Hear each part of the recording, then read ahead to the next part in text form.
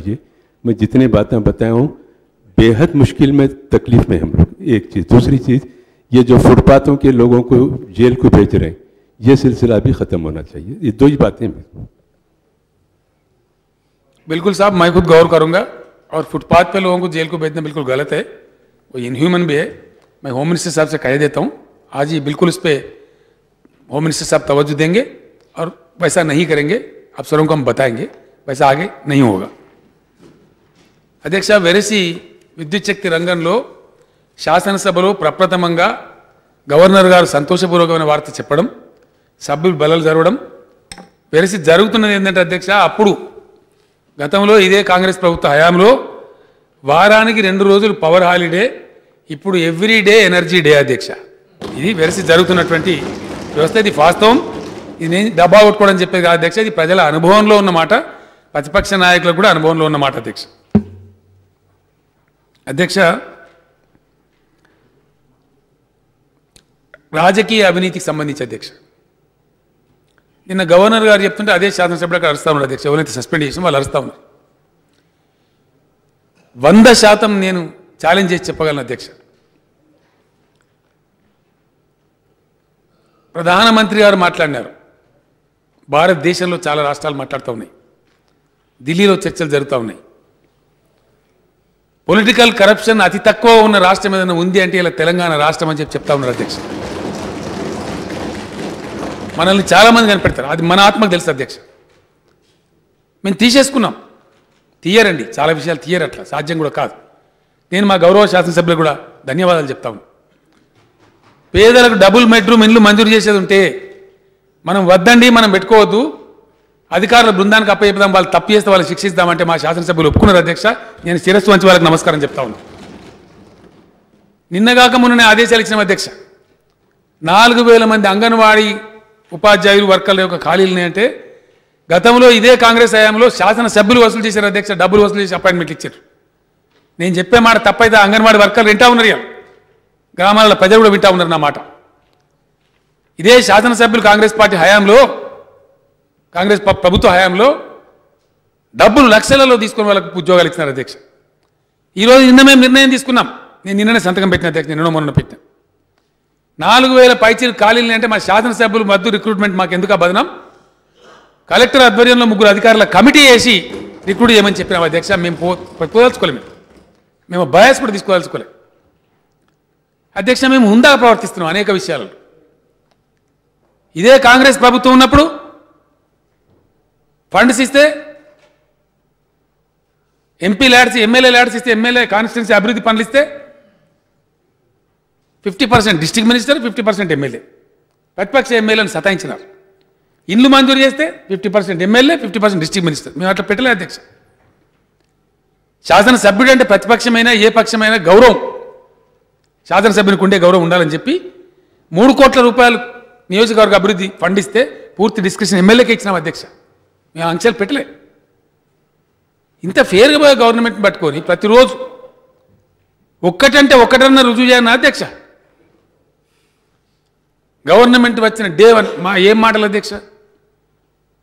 నేను మళ్ళా ప్రజలలో సిస్టమ్ మీద విశ్వాసం కోల్పోయేలాగా ప్రవర్తిస్తే that will burn everybody spirit అధ్యక్ష. లెట్ ఇస్ నాట్ ఫర్గెట్ ప్రజాస్వామ్య ప్రక్రియలో పనిచేస్తామనుకున్న ప్రతి వాళ్ళకు కూడా ప్రమాదమే అది. అధికారంలో ఎవరు శాశ్వతం కాదు. ఇలా పార్టీ రేపు ఇంకో పార్టీ ఉండొచ్చు. జరుగుతూ ఉంటుంది డెమోక్రసీ కాకతీయ రాజులు గట్టిపోయినటువంటి చెరువులు సమైక్య రాష్ట్రంలో నష్టమైంది దెబ్బతిన్నాం. మంచి చేపలు దొరికేటువంటి మత్స్య పరిశ్రమ పోయింది. మోయిశ్చర్ కంటెంట్ పోయి చెట్లు ఎండిపోతున్నాయి తాడి చెట్లు లాంటి ఎండిపోతున్నాయి. గ్రేజింగ్ ల్యాండ్స్ పోయినాయి. పశుసంపద తరిగిపోతున్నది కబీలాలకు పోతున్నది. అనేక మల్టిపుల్ బెనిఫిట్స్ ఉన్నటువంటి ఇన్పుట్ అని చెప్పి దాన్ని రివైవ్ చేయాలని చెప్పి ఒక మిషన్ మోడ్లో చేద్దామని. ఆ కాకతీయ అన్నం పెట్టిన కాకతీయ రెడ్డిరాజుల పేరు చెప్తే మనకు బరకత్ ఉంటుందని మిషన్ కాకతీయ అని పేరు పెట్టినాం. పొద్దున్న లేస్తే దాన్ని కమిషన్ కాకతీయ అంటారు. ఎక్కడ కమిషన్ అయ్యే బాబు అంటే దాన్ని రుజువు చేయాలి కదా ఒకటన్నా. మిషన్ భగీరథ పెడితే దాన్ని కమిషన్ భగీరథ అంటారు. అంటే ఇక గెలిచిన ప్రభుత్వం చేతులు కాలు ముడుచుకొని ఇంట్లో పండుకోవాలి అధ్యక్ష. ఏం పని చేయద్దా ప్రభుత్వం? మీరు ఏ పని చేసినా సరే దానిలో అవినీతి అంటాం. ఇదే ఆ ప్రతిపక్షం. ఇదే అనండి ప్రతిపక్షం. ఒక్కటన్నా రుజువు చేయాలి కదా అధ్యక్ష. ఒక్క అలిగేషన్ రుజువు చేయాలి కదా. ఇవి మేము అంటనే ఉంటాం. మీరు ఇంటనే ఉండాలని నేనేం అధ్యక్ష వినదలుచుకోలేదు గతంలో నేను చెప్పిన అధ్యక్ష వీలైతే చట్టం తెచ్చే నేను న్యాయ నిపుణులకు చెప్పినను అలిగేషన్ చేయవచ్చు డెఫినెట్ చేయవచ్చు. ఆరోపణ చేయవచ్చు కానీ రుజువు చేయాలి. ప్రూవ్ ఆర్ పెరిష్ ఆ చట్టం కూడా తెస్తాం అధ్యక్ష డెఫినెట్గా వంద పర్సెంట్ తెస్తాం. ఇక నుంచి ఇప్పటిదాకా సహించినాం కానీ రేపటి నుంచి నేను సభ ద్వారా ప్రజలకు కూడా తెలియజేస్తా ఉన్నా ఎటువంటి పిచ్చి ఆరోపణలు చేస్తే తప్పకుండా న్యాయపరమైన చర్యలు తీవ్రంగా కూడా తీసుకుంటాం అధ్యక్ష. ఎస్ డెఫినెట్గా మేము నిజాయితీగా పనిచేస్తా ఉన్నాం అధ్యక్ష ఇలా. ధైర్యంగా నేను ఛార్జ్ మేము చేసుకొని చెప్పగలం. Hundred percent. ట్రాన్స్పరెంట్గా పనిచేస్తూ ఉన్నాం. నిజాయితీగా పనిచేస్తూ ఉన్నాం. ఎక్కడ కూడా రాజకీయ అవినీతికి తావి ఇవ్వటం లేదు.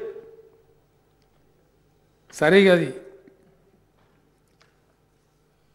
కాబట్టి ఇటువంటి ఆరోపణలు కూడా ఇంతవరకు ఉందా తనమో ప్రతిపక్షాలు ఆలోచించుకోవాలి అధ్యక్ష. తెలంగాణ కోసం నానా కష్టాలు పడి best part of my life అధ్యక్ష. నేను మంత్రిగా ఉన్న తమరు తెలుసు. డిప్యూటీ స్పీకర్గా ఉన్నా నాకు ఉండే ఇద్దరు పిల్లలు అమెరికాలో పోయి సెటిల్ అయిపోయినారు నేను చాలా హ్యాపీగా ఉండొచ్చు అధ్యక్ష. అటువంటి సమయంలో తెలంగాణ ఉద్యమానికి శ్రీకారం చుట్టి పదిహేను సంవత్సరాలు హోరాహోరి పోరాటం చేసి ఒక దశలో నా ప్రాణం మీద తెచ్చుకునే వరకు కూడా అంత దూరం వరకు వెళ్ళి సాధించుకున్నటువంటి తెలంగాణకు అన్యాయం నేను జరగనిస్తాను అధ్యక్ష? ప్రాజెక్ట్ రీడిజైనింగ్ నా ఇంటి కోసం చేసిన నేను? ఆరు నెలలు ఏడు నెలలు అధ్యక్ష ఒక్కొక్క రోజు మూడు గంటల రాత్రి. ఇంజనీర్లను పెట్టుకొని సాంకేతిక నిపుణులను పెట్టుకొని ఎక్స్పర్ట్స్ని పెట్టుకొని వాస్తవాలు కాంటూర్స్ అని తీసి ప్రాజెక్టు రీడిజైన్ చేసింది అధ్యక్ష తెలంగాణకు లాభం జరగాలని తెలంగాణ గడ్డ మీద నీళ్ళు రావాలని.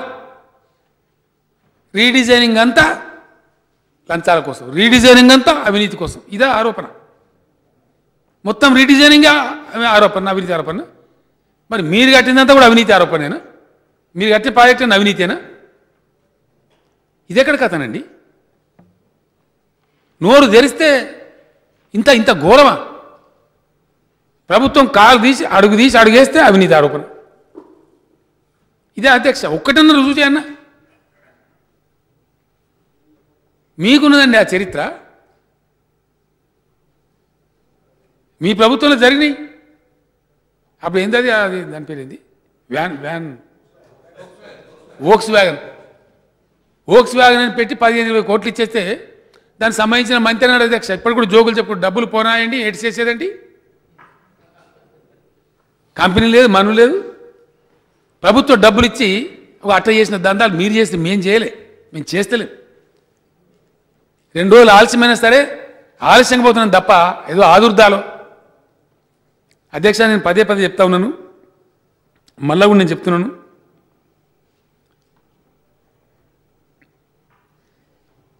ఈ రాష్ట్రాన్ని పెడమార్గంలో పెట్టే అధికారం మాకు లేదు. నూతనంగా ఏర్పడ్డ తెలంగాణ రాష్ట్రం యొక్క కొత్త ప్రభుత్వంగా మంచి చేయకపోయినా పర్వాలేదు కానీ తప్పు చేసే అధికారం మాకు లేదు అధ్యక్ష. ఒక్క తప్పు ఒక ఒక దగ్గర మేము జారితే ఒక జనరేషన్ దెబ్బ కొడుతుంది. కొన్ని దశాబ్దాలు దెబ్బకూడదు కాబట్టి రెండు రోజులు ఆలస్యమైనా పర్వాలేదు అనుకుంటున్నాం కానీ ఆదుర్దాలు పోయి తప్పు చేయదలుచుకోలేదు చెయ్యం కూడా అధ్యక్ష వంద శాతం భగవంతుడు మాకు ఇచ్చిన శక్తి వల్ల మంచి చేయడానికి సర్వ ప్రయత్నాలు చేస్తూ ఉన్నాం వాటిని కొనసాగిస్తాం. అధ్యక్ష స్థూలంగా గతంలో కూడా చెప్పింది మళ్ళీ చెప్తే ఎక్కువ నేను టైం తీసుకోవాల్సుకోలేదు పది పదిహేను నిమిషాలు ముగిస్తాను. ఇనీషియల్గా రాష్ట్రం ప్రాతిపదిక లేదు అధ్యక్ష నేను మళ్ళీ చెప్తాను మొదటి పది నెలల కాలం చాలా టాలెంటోళ్ళు గడిచిపోయింది తమకు తెలుసు. అధికారులు లేరు ఆర్థిక ప్రాతిపదిక లేదు. మన యొక్క పద్ధతి ట్రెండ్స్ ఎట్లుంటాయో తెలియదు. పెద్ద కన్ఫ్యూజన్ పదిహేను పదహారవ సంవత్సరం మంచి పకడ్బందీగా మనకు ప్రాతిపదిక ఏర్పడ్డ సంవత్సరం. ఒక మార్చి నుంచి మరో మార్చి వరకు జరిగినటువంటి ప్రయాణం మన రాష్ట్రం యొక్క స్థితి ఏంది గతి ఏంది మనకు అర్థమైంది అధ్యక్ష. అప్పుడు కూడా నేను తొందరపడలే అధ్యక్ష.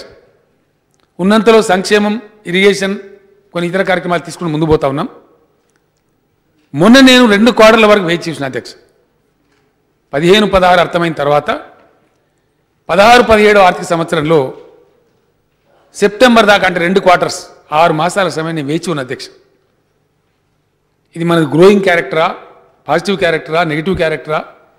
ట్రెండ్స్ ఎట్లా ఉంటాయి మన ఎకనామిక్ గ్రోత్ ఎట్లా ఉంటుంది రాష్ట్రం అని చెప్పి చాలా ఓపికతో వేచి చూసిన. మంచి అడ్మినిస్ట్రేషన్ వల్ల సుపరిపాలన వల్ల క్వాలిటీ పవర్ సప్లై కావడం వల్ల రెవెన్యూస్ పెరిగి బ్రహ్మాండంగా అధ్యక్ష భగవంతుని దయతోని పదిహేను పదహారు సంవత్సరం మీద పదహారు పదిహేడు సంవత్సరంలో మొదటి ఆరు నెలల్లో మన growth twenty one percent record break percentage వచ్చింది అధ్యక్ష. నోట్ల రద్దు తర్వాత నేను ఢిల్లీకి వెళ్ళి ప్రధానమంత్రి గారితో మాట్లాడినప్పుడు నవ్వుకుంటూ నవ్వుకుంటూ నేను అన్నా నేను ముప్పై ఒక జిల్లాలు చేసుకున్నా బ్రహ్మాండమైన రియల్ ఎస్టేట్ భూమి వచ్చింది. అద్భుతమైన గ్రోత్తో ముందుకు పోతున్నాను నేను. సడన్ మే ఆపే డిసిషన్ లేక హమారా టాంగ్ తోడిది అన్న నేను. టాంగ్ తోడిది. నా కాలి గుర్తు నా వేగం తగ్గించిన నేను. ఎందుకు ఏమైంది నీకు అన్నాడు చెప్పిన ఇట్లా నా గ్రోత్ ఇట్లా వచ్చింది. ఆయన పెద్ద ఎత్తున హాహా నవ్వి నా గుజరాతే నేను బాగా చేసినప్పుడు నాకు పదకొండు పర్సెంట్ దాటలేదు. ఎక్కీస్ పర్సెంట్ అయ్యాక బోత్ బడి బాధ అని చెప్పి నా భుజం మీద కుట్టిండి అధ్యక్ష సంతోషంతో. అంత అద్భుతమైనటువంటి గ్రోత్ తెలంగాణ రాష్ట్రం సాధించింది. సరే నోట్ల రద్దు పెద్ద దెబ్బ కొడుతుంది అనుకున్నాం. కొంతమేర కొట్టింది కానీ అంత కొట్టలే అనుకున్నంత భయపడ్డంత దెబ్బ కొట్టలే. స్టాంప్స్ అండ్ రిజిస్ట్రేషన్లో కొంచెం తగ్గింది అధ్యక్ష. రోజుకు పదిహేను పదహారు పదిహేడు కోట్లు వచ్చేది పది పదకొండు కోట్లు వస్తూ ఉంది. ఒక ఐదు ఐదున్నర కోటి తగ్గింది అధ్యక్ష పర్ డే ట్రాన్స్పోర్ట్లో ఒక ఇరవై శాతం ఇరవై రెండు శాతం తగ్గింది. మిగతా మాత్రం యాజిటీస్గా జరుగుతూ ఉంది అధ్యక్ష. సంతోషం. ఇంకా కూడా రేపు స్టేబుల్ అయ్యే ఆస్కారం ఉంటుంది. ఇవాళ ప్రధానమంత్రి గారిని బలపరుస్తూ ప్రజలు తీర్పు కూడా చెప్పినారు. వారు ఇంకింత స్టబ్బర్న్గా దేశ ఆర్థిక సౌష్ఠవం కోసం ప్రయత్నాలు చేస్తారని చెప్పి మేము ఆశపడతా ఉన్నాం కోరుకుంటున్నాం. వారు మరింత బలంగా ముందుకోవాలని చెప్పి. తద్వారా దేశం ఇన్కమ్ కానీ రాష్ట్రం ఇన్కమ్ కానీ పెరగాలి. పేదలకు మంచి జరగాలి అధ్యక్ష. అధ్యక్ష గ్రోత్ బాగా వచ్చింది. ఇప్పుడు ఇక మేము పటిష్టమైన ప్రణాళిక తీసుకోవాలి. మొట్టమొదటి అధ్యక్ష పవర్ బాగా చేసుకున్నాం. అతి కీలకమైన రంగం ఉండే దాన్ని చక్కదిద్దుకున్నాం దాన్ని ఇప్పుడు ఎవరు కూడా రివర్స్ చేయలేరు. ఆనాడు అవశేష ఆంధ్రప్రదేశ్ అనేక అవస్థలు పెట్టాలని చూసింది మనం. మనకి ఇవ్వాల్సిన వాటా ఇవ్వలే. అయినప్పటికీ మనం కాపాడుకున్నాం. ఇప్పుడు ఎవరు మనం బాధ పెట్టగలిగే పరిస్థితి కూడా కాదు అధ్యక్ష. అధ్యక్ష మరో శుభవార్త తమ ద్వారా గౌరవ సభ్యుల ద్వారా సభ ద్వారా ప్రజలకు కూడా తెలియజేస్తా ఉన్నాను. వార్దా మహేశ్వరం వయా డిచ్పేల్ వచ్చే లైన్ పీజీసీఐఎల్ వాళ్ళ అధ్యక్ష కంప్లీట్ చేస్తున్నారు ఆల్మోస్ట్ దగ్గర దగ్గర అయిపోయింది. నేను అనుకుంటే పది పదిహేను రోజుల్లో కమిషన్ అయ్యే పరిస్థితి ఉంది. రెండు వేల మెగావాట్ల కారిడార్ బుక్ చేసి పెట్టుకున్నాం అధ్యక్ష దాంట్లో అంటే భారతదేశంలో ఎక్కడి నుంచి అయినా సరే మనం ఎంతైనా సరే పవర్ కొనుక్కోవడానికి ఆస్కారం ఏర్పడే లైన్ అయిపోతూ ఉంది అధ్యక్ష. ఇంకో రెండు మూడు లైన్లు కూడా అవుతా ఉన్నాయి అధ్యక్ష చాలా వేగంగా. వరంగల్ వరోరా లైన్ కావచ్చు. పుగలూరు రాయగడ లైన్ కావచ్చు. అంగుల్ పలాస లైన్ అయితే ఆల్మోస్ట్ అయిపోయింది. ఈ లైన్లు కనుక కమిషన్ అయిపోతే వార్దాతోనే మనం చాలా వరకు ఫ్రీ అయిపోయినాం. అవి అయిపోతే రేపు మనం కలలు కంటున్న పాలమూరు ఎత్తిపోతల పథకానికి కాళేశ్వరం ఎత్తిపోతల పథకానికి మన డిండి ఎత్తిపోతల పథకానికి నిజామాబాద్ జిల్లాలో రాబోతున్న ఎత్తిపోతల పథకాలకు మనకు అవసరమైన పదివేల మెగావాట్ల పవర్ కూడా ఎక్కడి నుంచి అంటే అక్కడి నుంచి భారతదేశం కొనుక్కునే అవకాశం ఈ కార్యదారు ద్వారా రాబోతా ఉంది అధ్యక్ష. బ్రహ్మాండమైనటువంటి పంటలతో మనం పండించుకొని బతుకుతాం అధ్యక్ష. ఒక పంటలే పండాయి అధ్యక్ష. నేను దానిలోకి వస్తాను అధ్యక్ష. మొదలు పవర్ బాగా చేసుకున్నాం. పారిశ్రామిక పాలసీ అద్భుతమైన పాలసీ తెచ్చుకున్నాం. ఆర్థిక గ్రోత్ ట్వంటీ వన్ పర్సెంట్ వరకు ప్రగతిని సాధించినాం.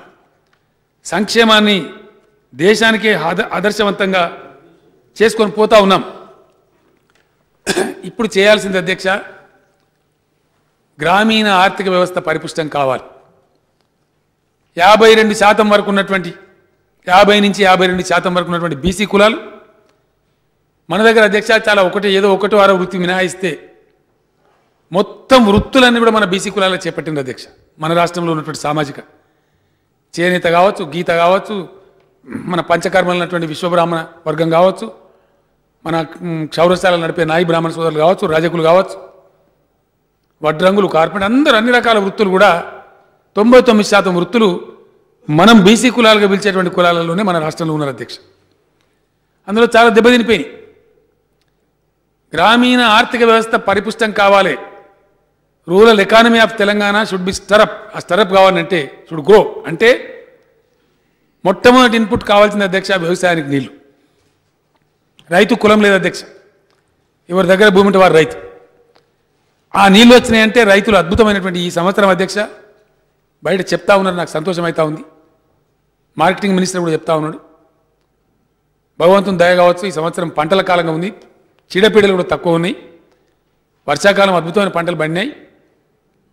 ఇప్పుడు ఈ యాసంగి అధ్యక్ష ఈ రబీలో భూమికి బరువు అయ్యేంత పంట పండిస్తారని చెప్తా ఉన్నారు.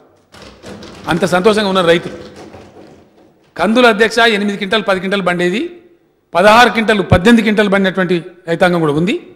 అటువంటి మంచి పంటలు వచ్చినాయి. ఇప్పుడు రెండవ పంట కూడా అద్భుతంగా పండబోతూ ఉంది.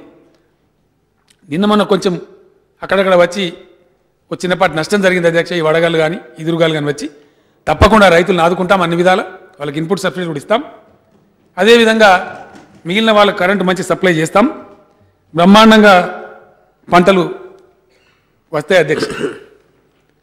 నీళ్ళు రావడం ద్వారా గ్రామీణ రైతాంగం యొక్క ఎకనామిక్స్ పటిష్టమవుతుంది అధ్యక్ష. గతంలో అధ్యక్ష కంబైన్డ్ స్టేట్లో తెలంగాణ ప్రాంతం మీద ఒక ప్రయోగశాలలాగా వాళ్ళు ప్రయత్నం చేసినారు. దేన్ని కూడా వాళ్ళు పరిగణలోకి తీసుకోలేదు అధ్యక్ష.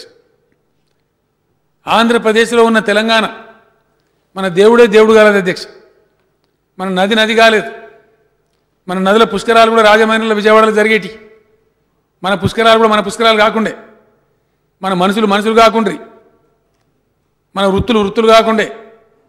దేన్ని కూడా మనం లెక్కించలేదు అధ్యక్ష. తెలంగాణలో ఉండేటువంటి శక్తి రిసోర్సు లభించేటువంటి వనరులను ఆంధ్రప్రదేశ్ రాష్ట్రం పరిగణలోకి తీసుకోలే పక్షపాత వైఖరి వల్ల ప్రాంతీయ పక్షపాత వైఖరి వల్ల. ఈరోజు మన ఆర్థిక సౌష్ఠవం తెలిసిన తర్వాత అర్థమైన తర్వాత నేను అధికారులను పెట్టి చెప్పిన అధ్యక్ష కలెక్టర్ల సమావేశం కార్యదర్శుల సమావేశం పెట్టి చెప్పినాం.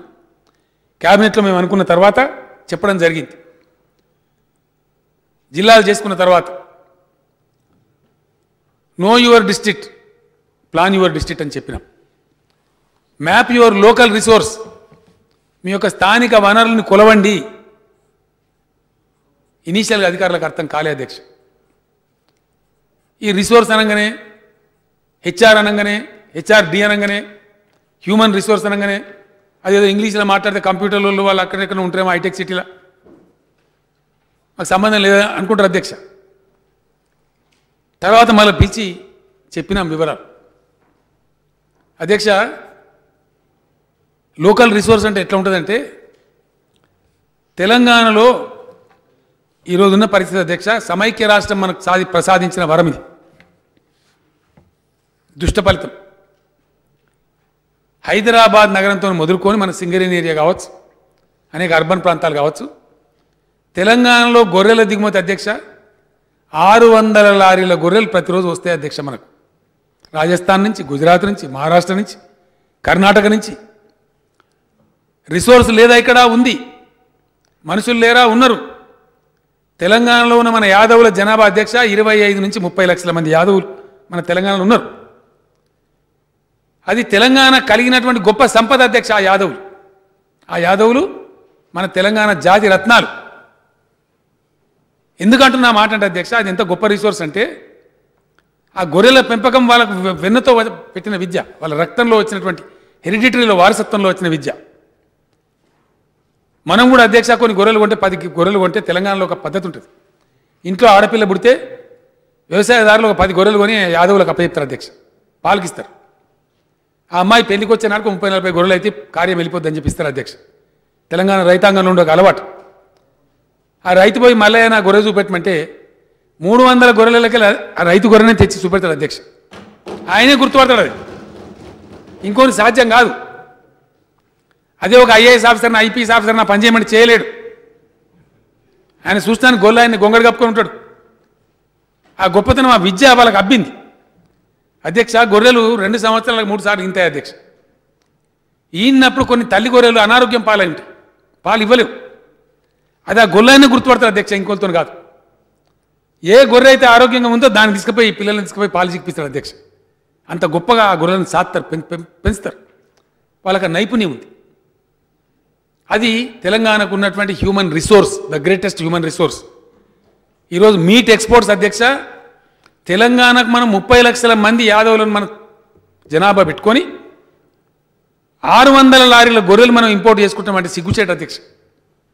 దానికే ప్రభుత్వం పటిష్టమైన నిర్ణయం తీసుకున్నది. రేపు ఫైనాన్స్ మినిస్టర్ గారు బడ్జెట్లో ప్రకటిస్తారు అధ్యక్ష. నేను ఆల్రెడీ ప్రకటించున్నాను కొన్ని లక్షలు ఒక నాలుగు లక్షల గొర్రెల యూనిట్లు నాలుగు లక్షల కుటుంబాలకు డెబ్బై ఐదు శాతం సబ్సిడీ మీద ఇవ్వాలని చెప్పి నిర్ణయం తీసుకున్నాం అధ్యక్ష. అవి చేయబోతా ఉన్నాం. దాన్ని ఇంప్లిమెంట్ చేయబోతా ఉన్నాం. అది మేము చెప్తే ముఖ్యమంత్రిని అభివృద్ధి చేయమంటే గొర్రెలు చేపలని మాట్లాడుతున్నాయి అంటారు. గొర్రెలు చేపలు అభివృద్ధిలా కనపడతలేదా? అభివృద్ధి కాదా? ఆ గొల్లవాళ్ళు మీకు మనుషుల్లా కనపడతలేరా? అధ్యక్ష ఇప్పుడు రాష్ట్రంలో రెండు లెక్కలున్నాయి అధ్యక్ష. సకుటుంబ సర్వే లెక్కను తీసుకుంటా ఉన్నాం. డిపార్ట్మెంట్ నడితేనేమో కోటి గొర్రెలు ఉన్నాయి సార్ అంటారు. ఎస్కేఎస్ మనం చేయించిన సర్వేలో చూస్తేనేమో నలభై నాలుగు లక్షల చిల్లర గొర్రెలున్నాయి అధ్యక్ష. ఒక ఫిఫ్టీ ల్యాక్స్ ఫిగర్ తీసుకుంటా ఉన్నాం మేము. ఎనభై ఎనిమిది లక్షల గొర్రెలు రెండు సంవత్సరాల్లో కొనిస్తా ఉన్నాం అధ్యక్ష. దానికి ఆల్రెడీ ఎంక్వైరీ చేసినాం. మనకు అంటుకొని మనకు బార్డరింగ్లో ఉన్నటువంటి ఆరేడు రాష్ట్రాలలో పుష్కలంగా అందుబాటులో ఉన్నాయి గొర్రెలు. వాటిని తీసుకురాబోతా ఉన్నాం. ఇంతకుముందు గొర్రెలు యూనిట్లు ఇస్తే దందాలు చేసిన వాళ్ళు అధ్యక్ష. ఈ ఊరు గొర్రెలు ఈ ఊరినే ఇస్తారు. ఈయన అమ్మినట్టు ఆయన కొన్నట్టు ఇచ్చినట్టు ఫోటో దిగాలి. అవినీతి చోటు చేసుకోవాలి డబ్బులు జబ్బులు వేసుకొని పోవాలి. మన రాష్ట్రం గొర్రెలే మనం కొనం అధ్యక్ష. ఖచ్చితంగా ఈ గొర్రెలు పక్క రాష్ట్రాల నుంచి కొంటాం. అడిషనాలిటీ రావాలి. ఇంపోర్ట్స్ తగ్గాలి. పూర్తి దీన్ని పారదర్శకంగా పెట్టి ట్రాన్స్పరెంట్గా పెట్టి ఎక్కడ పైసా అవినీతి జరగకుండా పెట్టి దాన్ని ఏ విధానం చేయడం మంత్రి గారు చూస్తూ ఉన్నారు కార్యకారణాలు వివరిస్తూ ఉన్నారు. ఆ విధంగా కొని పంపిణీ చేస్తాం అధ్యక్ష. అట్లా మల్టిప్లై అయ్యే గొర్రెలు అధ్యక్ష. ఇప్పుడున్న యాభై లక్షలు మేము కొనియబోయే ఎనభై ఎనిమిది లక్షలు మొత్తం ఒక కోటి ముప్పై పైచి గొర్రెలు అయితే రెండు సంవత్సరాల తర్వాత ఈ రాష్ట్రంలో తెలంగాణ రాష్ట్రంలో నాలుగు కోట్ల యాభై లక్షల గొర్రెలు తయారైతాయి అధ్యక్ష. యాభై లక్షలు పక్కకు పెట్టినా నాలుగు కోట్ల గొర్రెలు అధ్యక్ష. ఐదు వేల కాడికి ఒక గొర్రె అమ్ముకున్నా తెలంగాణ యాదవ కులం దగ్గర ఇరవై వేల కోట్ల రూపాయల ఆస్తి సమకూరుతుంది అధ్యక్ష. ఇరవై వేల కోట్ల రూపాయలు. This is the way of steering of the rural economy of Telangana this is the wisdom of economy of the government of Telangana HR అంటే హ్యూమన్ రిసోర్స్ అంటే this is what is the human resource ఉన్న human resource ఉంది. దానికి కొంచెం financial resource startup చేసి policy startup చేస్తే అంత పెద్ద వెల్త్ ఈ రాష్ట్రంలో క్రియేట్ అవుతుంది ఇది చెప్పడానికి సాహసం కావాలి అధ్యక్ష. కల్పన ఉండాలి ధైర్యం ఉండాలి. One should dare to dream ఒకనాడు నేను చెప్పిన అధ్యక్ష ఆంధ్రప్రదేశ్ రాష్ట్రం నుంచి ఢిల్లీకి పోతున్నా తెలంగాణ రాష్ట్రంలో అడుగు పెడతా అని చెప్పిన అట్లనే అడుగు పెట్టిన అధ్యక్ష. ఈరోజు తమ ద్వారా గౌరవ సభ్యులకు సభ్యుల ద్వారా సభ ద్వారా గౌరవ ప్రజానిగా నేను తెలియజేస్తా ఉన్నాను. ఖచ్చితంగా తెలంగాణ యాదవులు భారతదేశంలోనే అత్యంత ధనిక యాదవులు కాబోతా ఉన్నారు. ఈ టీఆర్ఎస్ ప్రభుత్వ ఆధ్వర్యంలో డెఫినెట్గా భారతదేశానికి ఒక మోడల్ కాబోతున్నారని చెప్పి మనం చేస్తా ఉన్నాను అధ్యక్ష ఆ టార్గెట్ అచీవ్ చేసి చూపిస్తాం. దానికి మంచి యువకుడు డైనమిక్ మినిస్టర్ కూడా ఉన్నాడు. అద్భుతంగా ఇంప్లిమెంట్ కూడా చేస్తామని చెప్పి మనం చేస్తా ఉన్నాం అధ్యక్ష. అదేవిధంగా అధ్య- అధ్యక్ష నేను లాస్ట్ సెషన్లోనే చెప్పిన మత్స్య పరిశ్రమ. బడ్జెట్ల భారీగానే కేటాయింపులు చేయబోతున్నారు. ఆయన చెప్పడం ధర్మం కాదు రేపు మంత్రి గారు చెప్తారు సభలో. గత చరిత్రలో ఎప్పుడు లేని విధంగా మత్స్యశాఖ కేటాయింపులు చేసి మత్స్య చేపలు బట్లు అనేటువంటి ఒక చిన్న మాటను మత్స్య పరిశ్రమ కింద ఈ రాష్ట్రంలో కన్వర్ట్ చేయబోతా ఉన్నాం. మన గంగపుత్రులు మన బెస్తవాన్లు మన గూండ్లోళ్ళు మన ముదిరాజులు. మొత్తం నలభై లక్షల మంది ఉన్నారు అధ్యక్ష. ఈ నలభై లక్షల మంది కూడా ఉపాధి పరిపూర్ణంగా కలిగే విధంగా కొన్ని వేల కోట్ల రూపాయలు ఆదాయం తెచ్చిపెట్టే విధంగా ఆ పరిశ్రమను తీర్చిదిద్దబోతా ఉన్నాం. దాన్ని రేపు ఫైనాన్స్ మినిస్టర్ గారు తమ ప్రసంగంలో సభ ముందు ఉంచుతారు అధ్యక్ష. ప్రతిపాదించబోతా ఉన్నారు. అట్లే అధ్యక్ష తమ దగ్గరకు వచ్చినారు చాలామంది. ఫైనాన్స్ మినిస్టర్ గారు కూడా బీసీ వర్గం నుంచి ఉన్నవారు తమరు బీసీ వర్గానికి చెందినవారు. తమరికే వచ్చి చెప్పినారు చాలాసార్లు. చాలా రిప్రజెంటేషన్లు వచ్చినాయి తమరు నాకు పంపించినారు. రజక సోదరులు ఉన్నారు నాయి బ్రాహ్మణ సోదరులు ఉన్నారు. ఒక సివిలైజ్డ్ తెలంగాణ. అధునాతనమైనటువంటి పద్ధతులు. అనాగరికంగా కలిపేయకుండా గ్రామీణ దృశ్యం మార్చేసే విధంగా అనేక స్కీములు రేపు ఫైనాన్స్ మినిస్టర్ గారు సభ ముందు తేబోతా ఉన్నారు అధ్యక్ష. అదేవిధంగా అధ్యక్ష ఎంబీసీ మోస్ట్ బ్యాక్వర్డ్ క్లాస్ అని చెప్పి సుమారు డెబ్బై ఎనభై లక్షల జనాభా కలిగినటువంటి పాపిస్తున్న వాళ్ళు ఉన్నారు అధ్యక్ష. ఒక నలభై యాభై అరవై కులాలని దాంట్లో. అనేకమైనటువంటి వాళ్ళ పాపం వాళ్ళను స్వతంత్రం వచ్చిన కానుంచి వాళ్ళు పట్టించుకోలేదు అధ్యక్ష. వాళ్ళ బాధలు వర్ణనాతీతం వాళ్ళు మాకు కోట్లు ఇవన్నీ అడుగుతలేదు అధ్యక్ష. ఫైనాన్స్ మినిస్టర్ గారు రెండు మూడు సార్లు తమ అనుమతి తీసుకుని ఇక్కడ శాసనసభలో వారి ఛాంబర్లో వారి క్వార్టర్లో సెక్రటరియట్లో అన్ని కులాలను పిలిపించి ఈటల రాజేందర్ గారు మాట్లాడినారు అధ్యక్ష.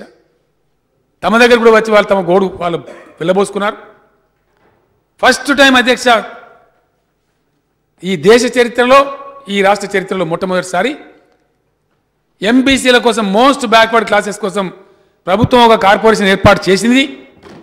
దానికి వెయ్యి కోట్ల బడ్జెట్ కూడా కేటాయించిన మొన్ననే నేను ప్రకటించడం జరిగింది అధ్యక్ష. అన్ని కులాలు అందులో ఎంతమంది అయితే ఉన్నారో వాళ్ళకు బ్యాంకు టైప్ చాలా తక్కువ చేసి వాళ్ళని ఆదుకోబోతా ఉన్నాం అధ్యక్ష. చాలా భారీగా మోస్ట్ బ్యాక్వర్డ్ క్లాసెస్ కూడా ఆదుకోబోతా ఉన్నాం.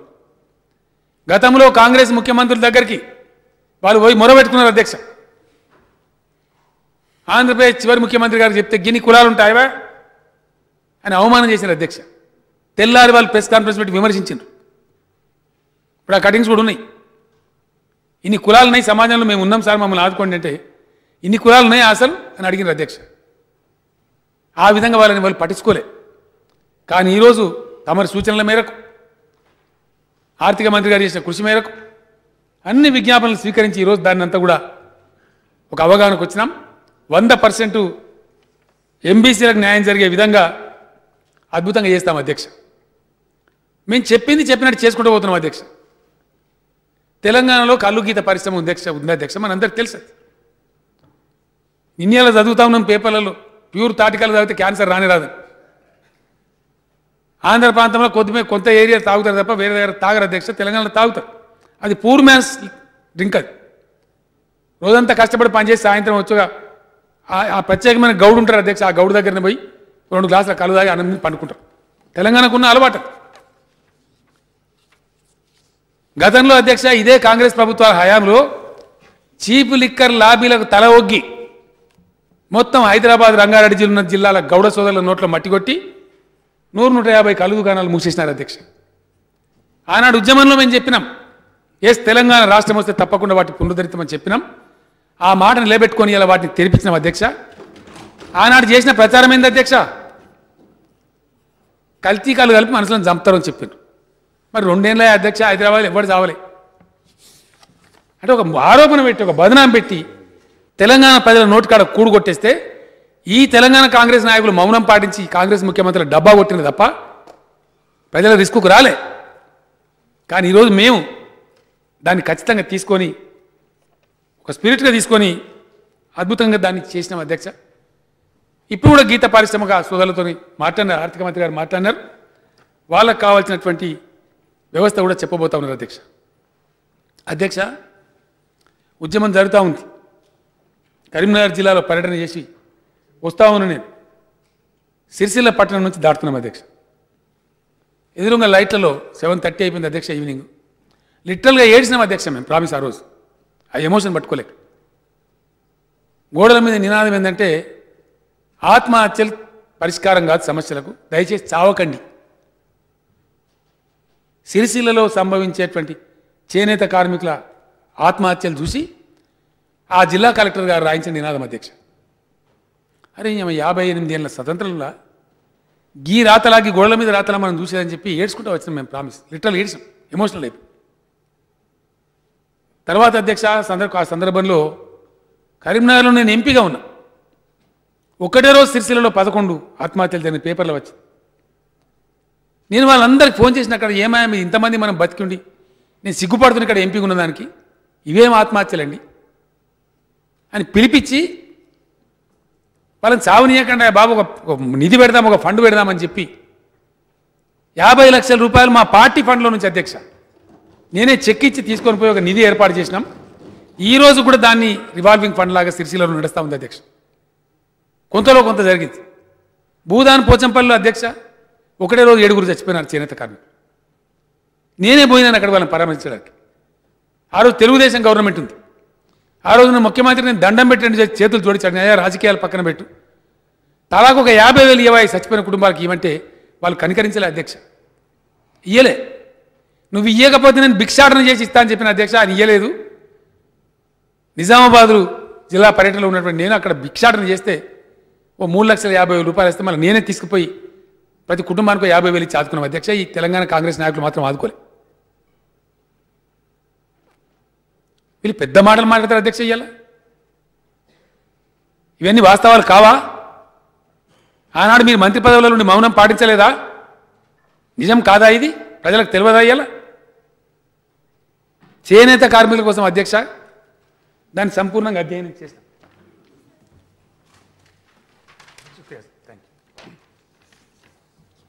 అధ్యయనం చేసినాం.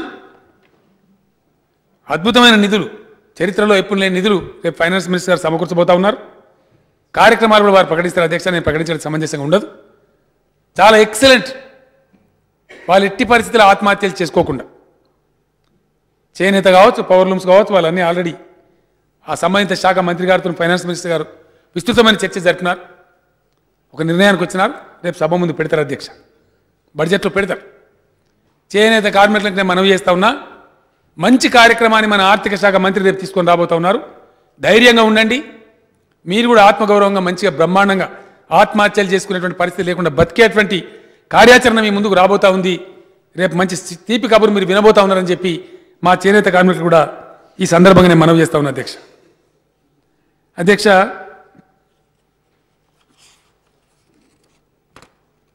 ఏది మాట్లాడినా దానికి ఒక విమర్శ. ఏమీ జరగలేదు అంటారు అధ్యక్ష. ఏమి జరగలేదా. ఇచ్చాను విచిత్ర విచిత్రమైన కథ అధ్యక్ష. ఏం జరగలేదంటే అంటే మేము ఇంత క్రియాశూన్యంగా ఉన్నామా? అట్ట మాట్లాడుతున్న అధ్యక్ష? అది శోభ ఇస్తుందా? అది గౌరవాన్ని పెంచుతుందా? అధ్యక్ష కొన్ని చాలా వాళ్ళకి ఇష్యూలు లేకుండా పోయినాయి అధ్యక్ష ప్రతిపక్షాలు. శాసనసభ సమావేశం అనగానే కందిలు తేవాలి ఎక్కాలు తేవాలి ఎండిపోయిన వరి కంకులు తేవాలి కరెంటు సమస్యలు ఉల్లి. ఏదో కథ.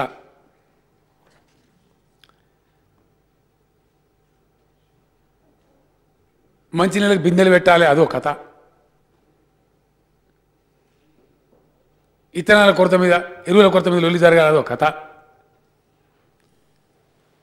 ఇప్పుడు ఎందుకు లేదు అధ్యక్ష విత్తనాల కొరత? అక్కడనో ఇక్కడనో కల్తీ విత్తనాలు వస్తే చాలా అగ్రికల్చర్ మినిస్టర్ గారు తీవ్రంగా స్టెప్ తీసుకుంటా ఉన్నారు. నేనే చెప్పిన అధ్యక్ష దాన్ని నివారించాలంటే పీడీ యాక్ట్లో లోపల తోయండి దుర్మార్గులు అని చాలా కఠినంగా వ్యవహరిస్తాం. తెలంగాణ ఏర్పడే నాటికి అధ్యక్ష మేము ప్రభుత్వానికి వచ్చే నాటికి ఈ రాష్ట్రంలో ఉండేటువంటి గిడ్డంగులు గోదాముల యొక్క సామర్థ్యం నాలుగు లక్షల మెట్రిక్ టన్నుల అధ్యక్ష. దానివల్ల ఏంటంటే ప్రొక్యూర్మెంట్ ముందు చేయరు. ఎరువుల దుకాణాల ముందు చెప్పుల లైన్లు ఉండేటి అధ్యక్ష పేపర్లలో వచ్చేటి. ఎరువుల షాప్ ముందర ఇత్తనాల షాప్ ముందర చెప్పుల లైన్లు. పోలీస్ స్టేషన్లో ఎరువులు అమ్ముడు. రైతులు దాడి చేస్తారు. ఆ? అట్లా ఇక లాటరీ లేసుడు. ఎవరికి లాటరీ వస్తే వాళ్ళకి వస్తుంది ఎరువు బస్తా. అంత తప్పుడు వ్యవహారం మీరు చేసినారు. మేము ఆ లోపాన్ని సరిదిద్దినాం ఇవాళ అధ్యక్ష ఆనాడు రాష్ట్రంలో గోదాముల యొక్క సంఖ్య ఎంత? కాదు. మొత్తం గోడౌన్ సంఖ్య నూట డెబ్బై ఆరు అధ్యక్ష. ఇవాళ రాష్ట్రంలో గోదాముల సంఖ్య మూడు వందల ముప్పై అధ్యక్ష. ఆ రోజు సామర్థ్యం నాలుగు లక్షల మెట్రిక్ టన్నుల అధ్యక్ష. మేము నాబార్డు నుంచి వెయ్యి కోట్లు అప్పు తీసుకొని వాటి నిర్మాణాలు పూర్తయినాయి. ఆల్మోస్ట్ బహుశా ఏప్రిల్ కంప్లీట్ అయిపోతున్నాయి అన్నిటికన్నీ. More than fifty sixty percent అయిపోయినాయి. మరొక పదిహేడు లక్షల మెట్రిక్ టన్నుల సామర్థ్యాన్ని యాడ్ చేసిన అధ్యక్ష. ఈరోజు తెలంగాణలో గోదాముల యొక్క సంఖ్య పాతది కొత్తది కలిపి twenty one lakh metric tons godown facility ఇలా తెలంగాణలో ఉంది అధ్యక్ష. ఇంత క్వాంటమ్ జంప్ తీసుకున్నాం. కాబట్టి ఎండాకాలంలో దేశంలో ఎక్కడ ఒత్తిడి లేని సమయంలో ఎరువులు ప్రొక్యూర్ చేసి బఫర్ స్టాక్స్ రెడీగా పెడతా ఉన్నాం. మొన్న ఒక వారం పది రోజుల క్రితమే నేను పోచారం శ్రీనివాసరెడ్డి గారు ఫోన్ చేసి అయా మంత్రి గారు మళ్ళీ అలసత్వం ఉండొద్దు ఈసారి కూడా అట్టే చేసి పెట్టమని చెప్పినాం. This should become a practice అని కూడా చెప్పినాం అధ్యక్ష. అందుకే ఎరువుల కొరత విత్తనాల కొరత వస్తలేదు. ఇది కనిపించదు అధ్యక్ష. గ్రోత్ కనిపించదు. నిన్న ఉత్తమ్ కుమార్ రెడ్డి గారు ఆయన గ్రోత్ మీద నాకు డౌట్ ఉంది అధ్యక్ష. నేను ఐఎమ్ రిక్వెస్టింగ్ హిమ్ లాస్ట్ సెషన్లో కూడా చెప్పిన నేను. My humble request all the political friends is let us not curse our youngest state చిల్లర రాజకీయాల కోసం మన రాష్ట్రానికి మనమే శాపాలు పెట్టకండి. అది మంచిది కాదు అని చెప్పిన నేను. లాంగ్ రన్లో మంచిది కాదని చెప్పిన. మళ్ళా నేను అప్పీల్ చేస్తా ఉన్నా. వాళ్ళు ఏం చేస్తారో వాళ్ళ విజ్ఞత. అధ్యక్ష అనేక రకాల వృత్తి పని వాళ్ళకి సంబంధించినటువంటి స్కీములు తయారైనాయి. అవన్నీ రేపు ఆర్థిక మంత్రి గారు చెప్తారు. అదేవిధంగా అధ్యక్ష పెన్షన్స్ ఇస్తా ఉన్నాం సంక్షేమ సంఘం కింద. చాలాసార్లు చెప్పుకున్నాం నేను గవర్నర్ గారు చెప్పినారు. ఒకటే మాట నేను చెప్తా అధ్యక్ష నేను దానికి చరిత్ర చేయదలుచుకోలేదు. ప్రజల యొక్క సంక్షేమం మీద ఎవరికెంత ప్రేమ ఉన్నదంటే ఆ రోజు కాంగ్రెస్ గవర్నమెంట్లో ఇరవై తొమ్మిది లక్షల మందికి పెన్షన్లు వచ్చినాయి అధ్యక్ష. ఇవాళ ముప్పై ఆరు లక్షల మందికి వస్తూ ఉన్నాయి అధ్యక్ష. ఓ ఏడు లక్షల మందికి ఎక్కువ వస్తూ ఉన్నాయి. ఇది సంక్షేమం కాదా అధ్యక్ష వాళ్ళ దృష్టిలో?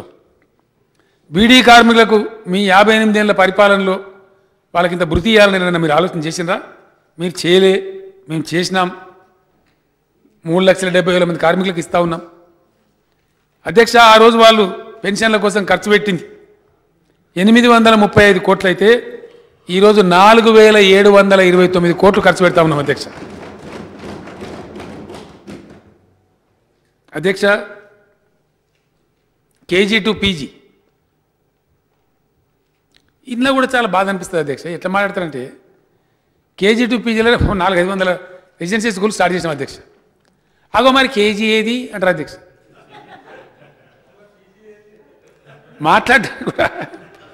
అధ్యక్ష ఒక మొక్క పెడతాం. ఒక మొక్క పెడితే అది సంవత్సరానికి ఒక ఫీటో ఫీట్నరో పెరగాలి. ఒకటే సంవత్సరంలో పది ఫీట్లు పెరిగింది అనుకో, మొక్క కాదు అధ్యక్ష అది రాక్షసి అయితే. గ్రోత్ అనేది గ్రాచువల్గా ఓ తరగతి స్టార్ట్ చేస్తే ఏ ఇప్పుడు స్టార్ట్ చేయాలి? బాధ్యత ఉన్న వాళ్ళు అయితేనేమో బాధ్యత ఉన్నట్టు మాట్లాడతారు అధ్యక్ష. కేజీ ఏది? అంగన్వాడీ స్కూల్ ఏంది అధ్యక్ష? అది కేజీ కాదు. మన ప్రైమరీ స్కూల్ ఏంటి అధ్యక్ష? అవి కేజీ కావా? రెసిడెన్షియల్ స్కూల్కి వచ్చే పాప కానీ బాబు కానీ ఏ వయసులో రావాలి అధ్యక్ష? ఏ తరగతి నుంచి రావాలి? మేము బాధ్యతలో ఉన్నాం కాబట్టి ఇవన్నీ విచారించినాం. మీరు అగాధం జగన్నాథం మాట్లాడుతున్నారు. బాధ్యత లేకుండా మాట్లాడుతున్నారు. హోమ్సిక్ కావద్దు పిల్లలు.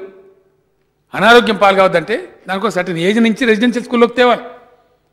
అప్పటిదాకా మన అంగన్వాడీ సెంటర్ ఫస్ట్ కేర్ తీసుకుంటాం చిన్నగా ఉన్నప్పుడు ఆ తర్వాత ప్రైమరీ స్కూల్స్ కేర్ తీసుకుంటాయి. అక్కడ వస్తువులు ఇంప్రూవ్ చేస్తాం కోచింగ్ ఇంప్రూవ్ చేస్తాం. ఆ తర్వాత ఐదో తరగతి నుంచి వాళ్ళు రెసిడెన్షియల్ స్కూల్కి వస్తారు అధ్యక్ష. దాని కేజీ ఏది? ఇదా. ఇది ఒక బాధ్యత కలిగినటువంటి నలభై ఏళ్ళు ఈ రాష్ట్రాన్ని పరిపాలించినటువంటి పార్టీ మాట్లాడవలసిన మాట నేను అధ్యక్ష? ప్రజలు గుర్తించాలా? అధ్యక్ష నిన్న మాట్లాడుతుంటే బీసీ సప్లాన్. ఇవాళ నలభై ఏళ్ళ పరిపాలనలో వాళ్ళు సప్లాన్ పెట్టినారా మేము తీసేసినామాట ఇప్పుడు. నలభై ఏళ్ళు ఉంటుంది మరి మీరెందుకు పెట్టలేదు నాయన? నిన్న గవర్నర్గా మాట్లాడుతున్నారు ఒక ఆయన కూస్తున్నాడు వెనక నుంచి. అధ్యక్ష వీళ్ళు బీసీల మీద ఒలకవలసిన ప్రేమ. వీళ్ళ కాంగ్రెస్ నలభై ఏళ్ళు తెలుగుదేశం ఇరవై ఏళ్ళ పాలన మొత్తం కలిపి తెలంగాణలో ఉన్న బీసీ రెసిడెన్షియల్ స్కూల్లో అవి కూడా వానకాలం బాబత్ అధ్యక్ష. ఇప్పుడు మేము పెట్టేంత పటిష్టమైనవి కావు. కేవలం పంతొమ్మిది స్కూళ్ళు పెట్టారు అధ్యక్ష. ఓన్లీ నైన్టీన్ రెసిడెన్షియల్ స్కూల్స్ మొత్తం అరవై ఏళ్ళలో. ఈరోజు మా బీసీ శాఖ మంత్రి జోగురామన్ గారి ఆధ్వర్యంలో డెసిషన్ తీసుకున్నాం అధ్యక్ష. ఒకటే ఒక సంవత్సరంలో నూట పంతొమ్మిది రెసిడెన్షియల్ స్కూల్ ప్రతి నియోజకవర్గానికి ఒకటి చొప్పున బీసీ రెసిడెన్షియల్ స్కూల్ ఈ ఆర్థిక సంవత్సరం ఈ అకాడమిక్ ఇయర్ నుంచే ప్రారంభం చేయబోతా ఉన్నాం అధ్యక్ష. అధ్యక్ష అదేవిధంగా అంబేద్కర్ గారి జయంతిని పురస్కరించుకొని వారి నూట ఇరవై ఐదవ జయంతిని పురస్కరించుకొని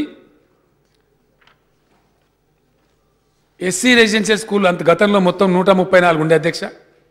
ఈ సంవత్సరం రెసిడెన్షియల్ విద్యాలయాలు నూట అరవై ఒక్కటి ఉప ముఖ్యమంత్రి కడియం సేర్ గారి ఆధ్వర్యంలో అనౌన్స్ చేసి దాన్ని కొన్ని ప్రారంభమై జరుగుతూ ఉన్నాయి.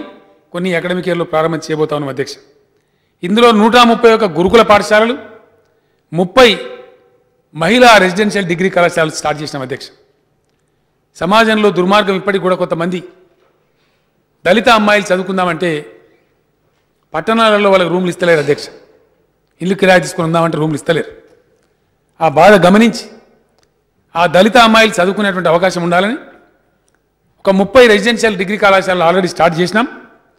ప్రతి రెవెన్యూ డివిజన్కి ఒకటి ఉండేటట్టు అధ్యక్ష. అంటే అరవై ఎనిమిది రెవెన్యూ డివిజన్లు ఇప్పుడు తెలంగాణలో ఉన్నాయి. ప్రతి రెవెన్యూ డివిజన్కి ఒక మహిళ రెసిడెన్షియల్ డిగ్రీ కళాశాల ఆ డిగ్రీ కళాశాలలో ఉండే సీట్లే కాకుండా అదనంగా ఇంకో యాభై సీట్లు. ఇతర కళాశాలలో చదువుకునే దళిత అమ్మాయిలు కూడా అక్కడ ఉండే విధంగా హాస్టల్ వసతి ఉండే విధంగా కూడా డెసిషన్ తీసుకున్నాం. దాన్ని కూడా ఈ సంవత్సరం ఇంప్లిమెంట్ చేయబోతా ఉన్నాం అధ్యక్ష. ఈ విధంగా ఎస్టీల కోసం గతంలో ఉన్న వాటికి అదనంగా యాభై ఒక్క రెసిడెన్షియల్ స్కూళ్ళు మంజూరు చేసినాం అధ్యక్ష. అధ్యక్ష ముస్లిం మైనార్టీలు వాళ్ళ గురించి రెండు విషయాలు అధ్యక్ష. ఒకటి ముస్లిం మైనార్టీస్ కావచ్చు క్రిస్టియన్ మైనార్టీస్ కావచ్చు ఇతర మైనార్టీస్ కావచ్చు మైనార్టీలకు సంబంధించి వాళ్ళ గురించి పట్టించుకోలేదు అధ్యక్ష వాళ్ళ ఓటు తీసుకున్నారు తప్ప. ఈ బూచి ఆ బూచి చూపెట్టాలి ఓట్లు కొట్టాలి తప్ప పట్టించుకోలే. చరిత్రలో ఫస్ట్ టైం అధ్యక్ష. రెండు వందల ఒక్క రెసిడెన్షియల్ పాఠశాలలు మైనార్టీల కోసం ప్రారంభించిన ఘనత ఈ టీఆర్ఎస్ ప్రభుత్వం అని చెప్పి నేను మనవి చేస్తా ఉన్నా అధ్యక్ష. కర్నూలులో నీళ్ళు పెట్టుకొని చెప్తున్నారు అధ్యక్ష. మా పిల్లలు ఇంత మంచి అద్భుతమైనటువంటి భోజనం తినుకుంటూ ఇంత మంచి మ్యాట్రస్ మీద పండుకొని ఇంత హై స్టాండర్డ్ ఇంగ్లీష్ మీడియంలో చదువుతారని చెప్పి మా జీవితంలో మేము అనుకోలే. ఇది గొప్ప వరం మాకు తెలంగాణ ప్రభుత్వం ఇచ్చిందని చెప్పి వాళ్ళు వేణుల్లో కొనియాడుతున్నారు అధ్యక్ష. అయ్యేలా సంతోషంతో పొంగిపోతూ ఉన్నారు.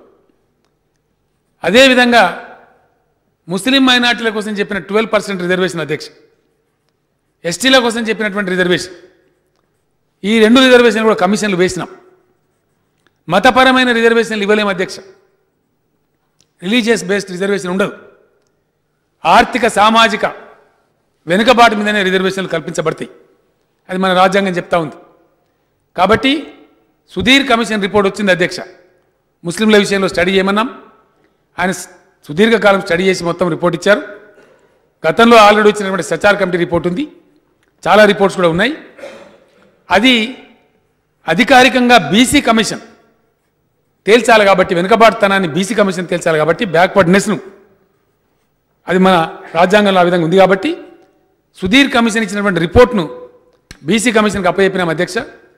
వాళ్ళు ఒక వరుస స్టడీ చేసినారు రాజధానిలో. ఇప్పుడు ప్రయత్నం జిల్లాల పర్యటనలో ఉంది కమిషన్. బహుశా రాబోయే వారం రోజులలో వాళ్ళ రిపోర్ట్ ఇవ్వబోతా ఉన్నారు. అన్ని జిల్లాలు తిరిగి పరిస్థితులు గమనించి. ఇదే శాసనసభలో ఈ శాసనసభ ముగిసే లోపే ఎస్టీ రిజర్వేషన్ బిల్లును ముస్లిం రిజర్వేషన్ బిల్లు అంటే ముస్లింలకు చెప్పిన వెనుకబాటుతనానికి సంబంధించిన బిల్లును ఈ శాసనసభలోనే మనం పాస్ చేయబోతా ఉన్నామని చెప్పి సంతోషంగా ఈ బడ్జెట్ సెషన్లోనే పాస్ చేయబోతా ఉన్నామని నేను మనవి చేస్తా ఉన్నాను. ఇక్కడ చట్టం చేసుకొని దాన్ని తీసుకెళ్ళి భారత రాజ్యాంగంలోని నైన్త్ షెడ్యూల్లో ప్రవేశపెట్టమని తమిళనాడుకి ఎటువంటి వసతి అయితే కేంద్ర ప్రభుత్వం ఇచ్చిందో అదే వసతి మనకు కూడా కల్పించమని చెప్పి మనం తీసుకొని అక్కడ పోరాటానికి పోతా ఉన్నాం.